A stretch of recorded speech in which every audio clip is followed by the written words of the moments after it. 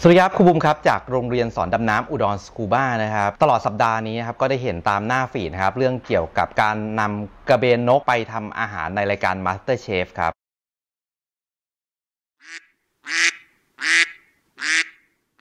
และเพื่อนๆสามารถกดติดตามช่องผมจากปุ่มติดตามครับ หรือปุ่ม subscribe แบบนี้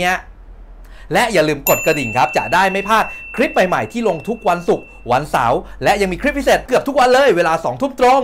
ในมุมมองของครูสอนดำน้ำอย่างผมนะครับผมต้องบอกก่อนเลยนะว่าผมไม่ได้เป็นคนที่เชี่ยวชาญเรื่องมารินไซด์หรือว่าเรื่องไฟล่ำเรื่องความหายากอะไรต่างๆ เพราะฉะนั้นวันนี้ครับเราจะไม่มาพูดถึงว่ากระเบนนกนั้นเป็นสัตว์หายากหรือไม่หายากครับ แต่ผมอยากจะมาพูดในประเด็นที่ว่ารายการหรือว่าสื่อต่างๆครับควรมีความรับผิดชอบต่อสังคมแค่ไหนครับในการนำสัตว์นะครับมาทำอาหารหรือว่าเอามาใช้ในรายการต่างๆครับหลายๆคนครับที่มีเพื่อนเป็นนักดำน้ำครับน่าจะเห็นหน้าฟีดไว้ว่านักดำน้ำเนี่ยมีการลุกคือขึ้นมาครับแล้วก็ไม่ยอมในเรื่องของการนำกระเบนนกมาทำอาหารครับบางคนอาจจะมองว่าเอ๊ะนักดำน้ำเนี่ยเป็นพวกโลกสวยหรือเปล่าทำไมเรื่องแค่นี้นะครับจะต้องออกมาโวยวายกันด้วยครับทั้งๆที่กระเบนนะครับเป็นสัตว์ที่บางครั้งเนี่ยเวลาเราเดินไปตามตลาดต่างๆ เราจะเห็นอยู่แล้วนะว่ามันถูกติดอวนขึ้นมา แล้วก็ถูกมาขายตามตลาดทั่วไปเลย ในมุมมองคนดำน้ำอย่างเราครับกระเบนเหล่านี้ครับเป็นสัตว์หายากครับเนื่องจากว่าเวลาเราไปดำน้ำเนี่ยโอกาสที่จะเจอนั้นเป็นเรื่องยากมากๆเลย และนับวันในประเทศไทยครับมันยิ่งเหลือ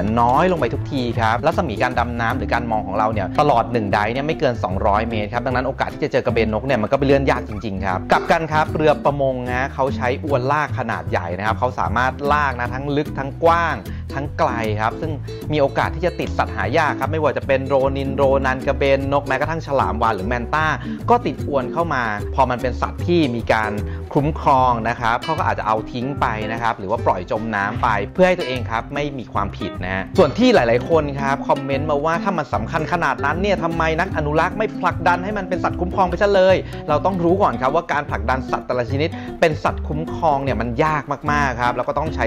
เวลาใช้การทำโพลทำวิจัยนะครับ เยอะมาก ๆ เลยกว่าจะคุ้มครองเขาได้เนี่ยบางครั้งเขาหมดไปจากทะเลไทยไปแล้ว และการคุ้มครองสัตว์ต่างๆ ในประเทศไทยครับยังมีช่องว่างอีกเยอะมากครับที่ปล่อยให้คนทำผิดครับเนื่องจากว่าเขาก็ไม่ได้ทราบนะว่าสัตว์ต่างๆ นั้นมันมีอยู่ในเมืองไทยหรือเปล่า หรือว่ามันหายากมากแค่ไหน ต้องรอนักวิชาการในการทำเรื่องขึ้นไปครับ ดังนั้นครับถ้าเรามานั่งไล่ออกกฎหมายคุ้มครองสัตว์ต่างๆครับอีกหน่อยครับประเทศเราคงไม่เหลืออะไรให้คุ้มครองอีกแล้วครับอย่างที่บอกไปตั้งแต่ตอนต้นครับวันนี้คงไม่ได้มาบอกว่ารายการ Master Chef นั้นทำถูกหรือผิดนะครับแต่ผมอยากให้สื่อทุกสื่อครับไม่ว่าจะเป็นชช่อง YouTube ก็ตามรายการต่างๆ ก็ตามนะครับ มีความรับผิดชอบต่อสังคมนะครับ ดูแลเอาใจใส่สิ่งแวดล้อมนะครับ ไม่ใช่มุ่งแต่ทำคอนเทนต์ที่แปลก หรือว่าอยากให้คนติดตามนะครับ หรือว่าน่าสนใจเพียงอย่างเดียวครับ อยากให้ศึกษาหาข้อมูลสักนิดนึงว่าสิ่งที่นำมาใช้ในรายการนั้นกระทบต่อคนบางส่วนหรือเปล่านะครับ เราลองพูดดูเล่นๆนะครับว่าสมมติว่าถ้าเขาเอาสุนัขนะครับมาทำอาหารในรายการถามว่าการฆ่าสุนัขผิดกฎหมายหรือไม่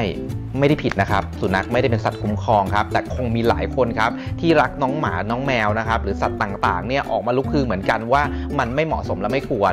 แบบนี้ก็เช่นกันนะครับ คนรักทะเลอย่างเรานะครับ คนดำน้ำอย่างเราครับ ก็ออกมาแสดงความเห็นครับ ว่าการนำกระเบนนกไปทำอาหารนั้นไม่เหมาะไม่ควรนะครับ คงไม่ต้องไปเถียงนะครับ ในเรื่องของความถูกผิดหรือความหายากหาง่ายครับ เรามาดูเรื่องความเหมาะสมครับ สัตว์ที่ควรกินเราก็กินนะครับ สัตว์ที่ไม่ควรกินเราก็ไม่กิน หรือบางคนอาจจะมาพูดว่าเอ๊ะฉลามอย่างฉลามเนี่ยเขายังเอาหูฉลามมาทำอาหารเนี่ยฉลามบางชนิดคุ้มครองด้วยซ้ำทำไมเอามาทำได้นะครับ จริงๆแล้ว คนดำน้ำอย่างเราต่อต้านกันมาตลอดนะครับในเรื่องของการนำฉลามมาทำอาหาร เรารู้ว่าฉลามที่ถูกฆ่านั้นทรมานแค่ไหนนะครับการถูกตัดคลีบแล้วปล่อยให้ไปตายในน้ำมันทรมานมากแค่ไหน ฉลามไม่สามารถหายใจในน้ำได้ถ้าปราศจากการว่ายน้ำนะครับ ดังนั้นการที่ไม่มีคลีบคือการปล่อยให้เขาจมน้ำตายอย่างทรมานนะครับ แล้วก็ใครอยากทราบข้อมูลที่ละเอียดละเอียดนะครับ ก็ติดตาม Facebook ของอาจารย์ทรนะครับ Facebook ของดิจิทะเล แล้วก็นักดำน้ำอีกหลาย ๆ ท่านครับ ที่ให้ข้อมูลเชิงลึกและละเอียดมากกว่าผมนะครับ ก็ขอบคุณมากครับวันนี้ที่ติดตามชมนะครับ วันนี้อาจจะซีเรียสนิดนึงนะ แล้วพบกันใหม่สัปดาห์หน้าครับ วันนี้ไปก่อนครับ บ๊ายบายเพื่อนๆสามารถไปดูคลิปวิดีโอของผมได้จากกราฟใส่ไว้ตรงนี้นะครับ แล้วก็อย่าลืมกดไลค์ กด subscribe กดแชร์ กดทุกอย่างครับที่มีนะอย่าลืมกดกระดิ่งด้วยนะครับ